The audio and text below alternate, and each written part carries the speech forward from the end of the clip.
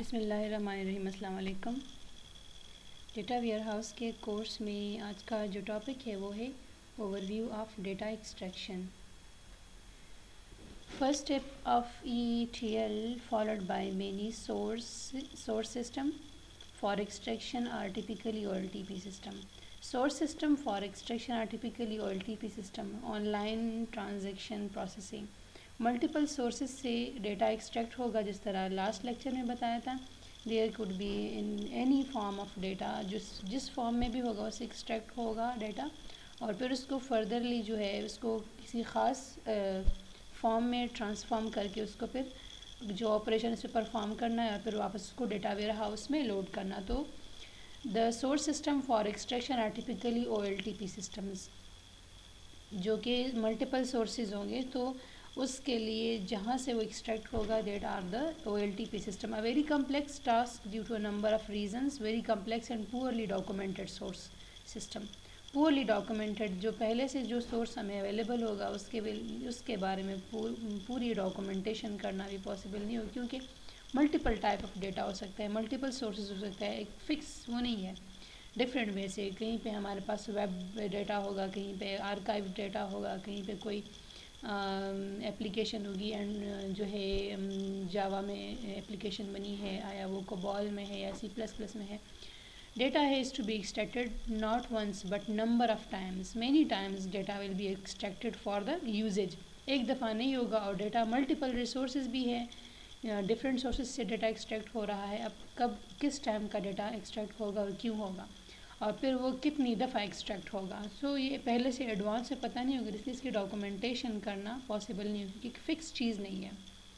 Multiple resources है multiple sources of data multiple sources से data extract हो रहा है और नंबर ऑफ़ एक्सट्रैक्शन जो है कितनी दफ़ा एक्सट्रैक्ट होगा वो भी पहले से पता नहीं होता। That process design is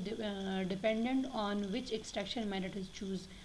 अब कौन सा एक्सट्रैक्शन मेथड चूज़ होगा? तो वो डिपेंड करेगा कि सोर्स हमारे पास कौन सा है। डिपेंड करेगा कि जिस सोर्स से हम ले रहे हैं कि वो है क्या तो उस लिहाज से extraction method will be chosen so how to make available extracted data for the further processing और किस तरह हम उसको अवेलेबल करेंगे फर्दर प्रोसेसिंग के लिए? जो डेटा हम लेंगे सोर्स से लेंगे। ठीक है? और उसको हम किस मेथड से करेंगे? तो वो तो सोर्स पर डिपेंड करेगा। अब कौन सा सोर्स है जो जिससे डेटा हमने एक्सट्रैक्ट करना है फर्दर यूज़ के लिए और फिर उसके बाद उसको फर्दर प्रोसेसिंग के लिए अवेलेबल करना कि उस पर कोई भी प्रोसेसिंग करे या उस पर उसको किसी एक फॉर्म से दूसरे फॉर्म में ट्रांसफॉर्म करे, क्योंकि अगर हम सपोज़ हमारे पास एक आर्काइव्ड फ़ाइल है तो उसमें कोई चेंजेस नहीं हो सकती। उसको पहले हम एक्सट्रैक्ट करेंगे, उसमें कोई चेंजेस करेंगे और उसको वापस उसी फॉर्म में कन्वर्ट करेंगे। जिस फॉर्म से हमने एक्सट्रैक्ट किया, जिस तरह कोई भी आर्काइव्ड फ़ाइल है या कोई और एप्लीकेशन है, उससे हमने लेना है कोई भी जावा में कोई एप्लीकेशन बनी है तो उसको पहले उसी फॉर्म से डिफरेंट उसमें कन्वर्ट करेंगे उस पर जो ऑपरेशन परफॉर्म करके वापस उसको ओरिजिनल जो इसमें था, उसमें कन्वर्ट करेंगे। So the extraction is the first step in the E के पहले हम उसको किसी सोर्स से एक्सट्रैक्ट करेंगे, फिर उसको ट्रांसफॉर्मेशन के लिए आगे, जो प्रोसेस के लिए हम उसको डेटा को लोड करेंगे। तो सोर्स सिस्टम जो होगा वो टिपिकली कोई भी ट्रांजेक्शन हो रही है तो अब कौन सा रिकॉर्ड किस, कौन से ऑफ़िस में किस चीज़ का रिकॉर्ड है, उसके रिकॉर्ड में ट्रांजेक्शन करनी है तो उससे वो रिकॉर्ड एक्सट्रैक्ट करना। सपोज़ जो उनका हेड ऑफ़िस है, वहाँ से, वहाँ पे जो है सारा, उनका तो एक, जो सेंट्रलाइज सिस्टम है, वहाँ है। ठीक है तो सबका डेटा वहाँ पे है। तो अगर किसी एक ऑफ़िस से किसी स्पेसिफिक जो है किसी एक ऑफ़िस में किसी भी कोई भी आइटम है, वो सेल हुआ है, जो भी है तो वो एक्चुअल वो डेटा उसको एक्सट्रैक्ट करेगा कि फ़लाँ ऑफ़िस का डेटा और फिर उसमें वो सारी इंफॉर्मेशन चेंज करके जो वो लोड होगी, क्योंकि वो अगर एक सपोज़ पिशावर का है या इस्लामाबाद का है या कराची का है तो हर एक अपनी अपनी इंफॉर्मेशन अपना अपना डेटा अपने ऑफ़िस में होता है। मगर बैक पे वो सारा उसके हेड ऑफ़िस में भी होता है तो वो डेटा एक्सट्रैक्ट होगा कि कौन सी वाली चीज़, कौन सा आइटम सेल हुआ है कैटेगराइज होगा।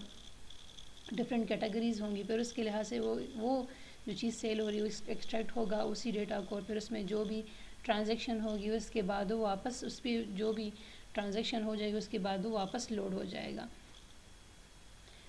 और कौन सा एक्सट्रैक्शन मेथड जो है हमने चूज़ करना है तो ये भी इसकी डिसीज़न लेना भी बहुत कम्प्लेक्स प्रोसीजर है कि उसमें हमने किस वे से इसको एक्सट्रैक्ट करना है तो वो जो हम तरीका यूज़ करेंगे, जिस वे से करेंगे तो वो भी डिपेंड करेगा कि हमारे पास डेटा किस फॉर्मेट में अवेलेबल है तो उसके लिहाज से एक्सट्रैक्शन मेथड जो है वो फॉलो होगा। तो फिर जब वो डेटा एक्सट्रैक्ट हो जाता है, उसके जो जिस मल्टीपल सोर्सेज से होगा, जिस सोर्स से भी होगा, फिर उस सोर्स के लिहाज से वो ऑपरेशन परफॉर्म होगा एक्सट्रैक्शन का जो प्रोसीजर है वो परफॉर्म होगा। तो जब वो डेटा एक्सट्रैक्ट हो जाएगा, फिर इन क्लिनजिंग प्रोसेस ठीक है तो उसमें वो transformation of data from one form to another form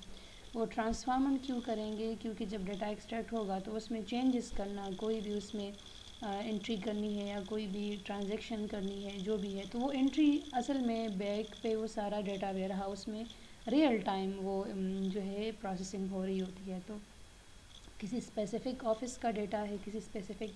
branch का है तो वो जो ट्रांजेक्शन हो रही है तो वो सारी इंफॉर्मेशन जो है रियल टाइम वो सारा, वो कि इस टाइम पे, इस लोकेशन पे, इस इस आइटम के लिहाज से ये ये चीज़ें, ये मतलब ये आइटम इतना सेल हुआ है, फ़लाँ ब्रांच से हुआ है, इस टाइम पे हुआ है, वो पूरे डायमेंशन शो होंगे। तो वो सारी इंफॉर्मेशन उसमें जो है तो वो ट्रांसफॉर्म इसलिए होगा, इस किसी और फॉर्म में इसलिए कन्वर्ट होगा कि जिस फॉर्म से वो एक्सट्रैक्ट हुआ है, उसमें चेंज करना पॉसिबल नहीं होगा। तो वो ट्रांसफॉर्म होगा, जिसमें उस, इसी, इस, ऐसे फॉर्म में ट्रांसफॉर्म होगा, जिसमें चेंज करना इजी होगा। फिर उसके बाद वो वापस जो है उसमें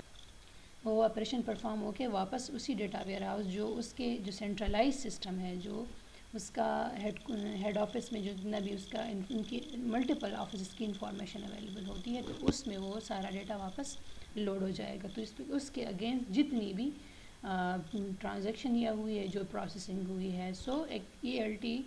extract transform and load तो इसमें एक थ्री प्रोसेसिंग इसमें जो मेन प्रोसेसिंग है extraction transformation and then load जो उस पर ऑपरेशन परफॉर्म होगी तो उसके बाद वो वापस उसी डेटा वेयर हाउस में लोड हो जाएगा, जहाँ से डेटा एक्सट्रैक्ट हुआ है, जो उसका सेंट्रल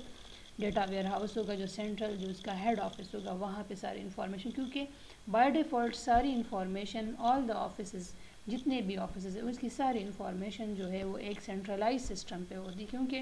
जिस तरह से हमने स्टार्ट में कहा था कि डेटा वेयर हाउस जो है सिंगल एक स्मॉल डेटाबेस नहीं कम्बिनेशन ऑफ़ मल्टीपल डेटाबेसेस तो ये कम्बिनेशन ऑफ़ मल्टीपल ब्रांचेस हर एक ब्रांच में अपना अपना डेटाबेस होगा तो वो आपस में इंटरकनेक्टेड होंगे। तो एक सेंट्रल जो सिस्टम है उनका, उसके उनका एक मेन हेड हेड ऑफ़िस होगा तो वहाँ पे ये सारी इंफॉर्मेशन अवेल होंगी सेव होंगी। सो आई होप यहाँ तक आपको इसकी समझ आ गई होगी।